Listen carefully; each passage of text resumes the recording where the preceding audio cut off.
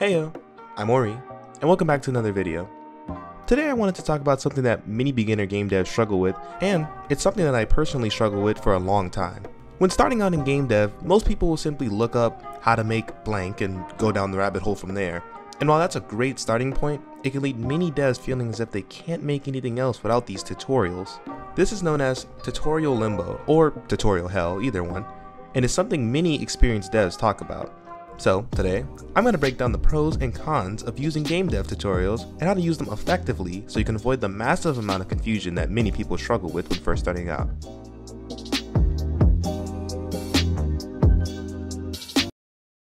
So, picture you. Yes, this little man is you. You want to make a video game because you've either just played something amazing or you think you can make buckets of money. Whatever your reason, you're now on the path to make a video game you go on YouTube and search making a game tutorial and click the most popular video. Well, this is great, you think to yourself as you dream of the expensive meals you'll buy once you become a successful game dev. But here's where the issue begins to arise. Making a game is hard work, but thank God you just followed that handy tutorial. Surely you're ready to make anything you want now, except, wait, why can't I make the character move? I just made a whole game and I can't even get the character to move? What's wrong with me? Why can't I? If you felt like this person before, don't worry, because you're not alone but I do want to help you understand why this happens and how to solve it. Section 2 There's no right way to make a game. A common trap that many fall into is that there's a set way to do anything in game dev. For example, someone might look up how to make a platformer and follow how the person does it in the video. This then shapes how the beginner formats their code, their mentality, and everything in between. So if they run into any other issues, they can only rely on what they learned from this one specific video. It's important to understand that this one video is how that person figured out how to make the platformer. But really all programming is in general is the idea of problem solving. You need to make a character move, right? You could make it so your character uses a state machine that helps run movement code, or you could just have it detect an input and increase a value. Both move your character technically, and will most likely visually look the same too, but one is simply more refined than the other. Many beginners get strung up on making their code look as clean as possible, and while that is important in the long run, and I'm not encouraging you to write sloppy code, it ultimately creates more roadblocks for new developers because they worry about their code being too sloppy. Understanding that there are thousands of possibilities when programming will help you finish games much faster. But I can hear you saying it now. But actually, if I can't look at the tutorial, how am I supposed to make anything? And first of all, shut up. And second of all, I have a way to fix that.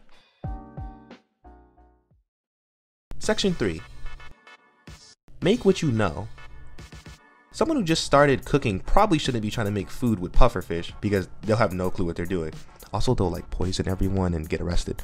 Programming is the exact same way, without the threat of killing anyone, of course. Don't don't kill anyone. Something I did when trying to get out of tutorial hell was only rely on the official Game Maker manual and forum posts to solve my issues. This approach helped me learn two things. One, making something with my own knowledge kinda sucks and is extremely hard, and having to learn how to properly problem solve is challenging, but extremely rewarding. And two, making something that's truly yours is a feeling like no other. Is the product something to write home to mom about? No, not really. But I can say I use nothing but my own knowledge to create something. And that's more than some people can say. If the idea of jumping headfirst into something scares you, then something that helped me was semi-following the tutorial you're watching. Name variables independent from the video and make tweaks that make your game unique in some way. Change the art, and maybe even attempt to adjust the mechanic that a tutorial gives you. The goal is to really attempt to understand everything you're copying. You want to know what it means. Sure, you can write an if statement, but it's very important to understand why and how that works. Otherwise, how can you expect to make anything independent from tutorials? Of course, even with this advice, it can still be very difficult to know where to start and how to jump into a project without guidance.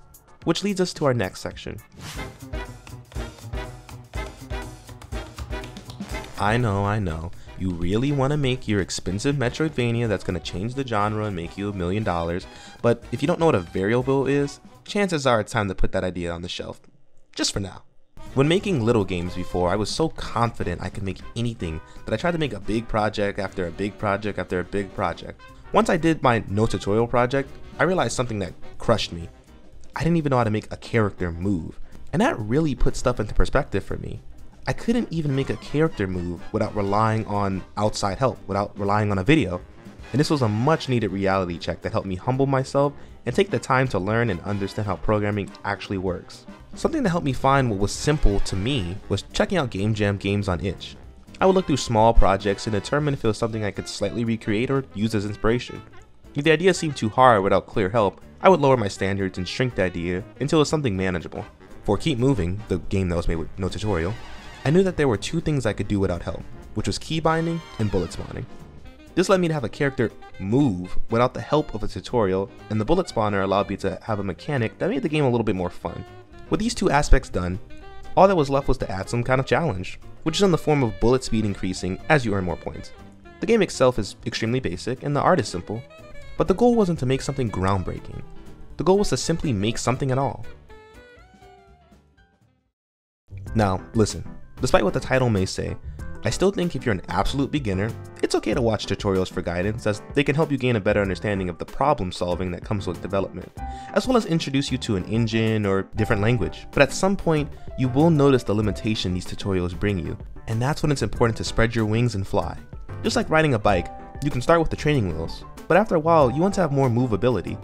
For that to happen, you need to get ready to say bye to those training wheels. If you ever have any questions or simply want feedback, you can find me in my Discord down in the description below. I've been seeing some amazing music and game projects come out of that, and despite me being extremely busy, I have been paying attention, so please feel free to share. And thank you so much for watching. I want to give a huge shout out to Vanessa, Hannibal, and our two new patrons, Khalik and Jasmine, for supporting me and the channel. Your continued support helps me create more videos for everyone to enjoy. And if you enjoyed this video, please feel free to like and subscribe or check out the Patreon, as it helps out the channel immensely. Thank you, and I'll see you next time.